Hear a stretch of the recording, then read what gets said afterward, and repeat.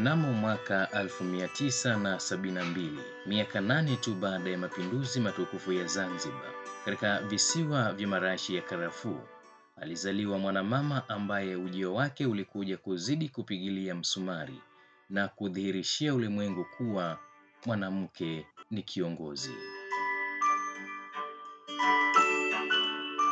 Akiwa na umri wa miaka arobaini na minne, vitabu vya kumbukumbu vilifunuliwa na jina lake likachapishwa kwa wino mnene na rekodi ikaandikwa. Na huyo ni Salama Mbarku Hatib, mwanamke wa kwanza jina lake kuandikwa katika orodha ya wakuu wa mikoa kumi na wanne waliowahi kuongoza mkoa wa Kaskazini Pemba, moja ya mikoa migumu kuiongoza tangu kuasisiwa kwa mapinduzi matukufu ya Zanzibar ya mwaka 1964.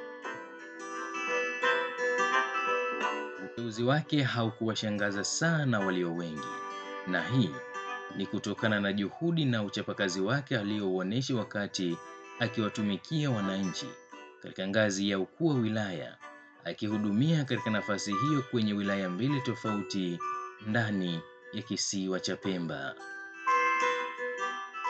Nyota na safari ya uongozi kwake ilianzia Mei 25 mwaka 2016 pale ambapo Rais wa Zanzibar na mwenyekiti wa Baraza la Mapinduzi Mheshimiwa Daktari Ali Mohamed Shein alipomkabidhi jukumu la kumwakilisha kuwa mkuu wa wilaya Chake Chake mkoa wa Kusini Pemba, kabla ya kuhamishiwa katika wilaya ya Micheweni kwa lengo moja tu, kuhakikisha kwamba anawatumikia wananchi wa wilaya hiyo.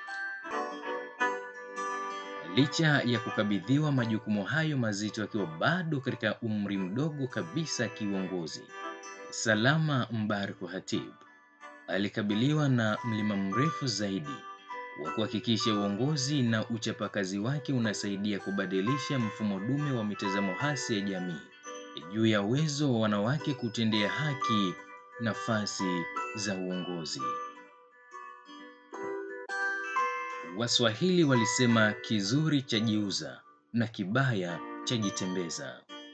Akiwa katika nafasi yake, amelibeba jukumu zito la kuaminisha jamii juu ya uwezo na uimara wa wanawake kwenye nafasi za uongozi.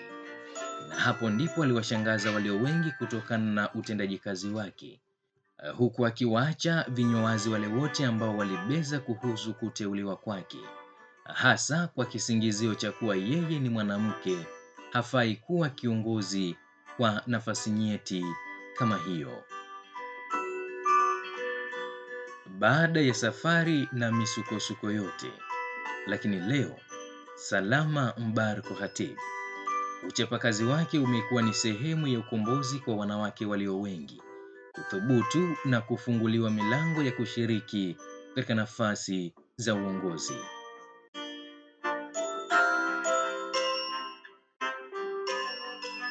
Huyo ndiye Salama Mbarku Hatib, mkuu wa mkoa Kaskazini Pemba, aliyeibuliwa na Rais Daktari Ali Mohamed Shein na sasa akaaminiwa na rais wa awamu ya nane Dr. Hussein Ali Hassani Mwinyi. Hakika mwanamke ni kiongozi na wanawake wanaweza.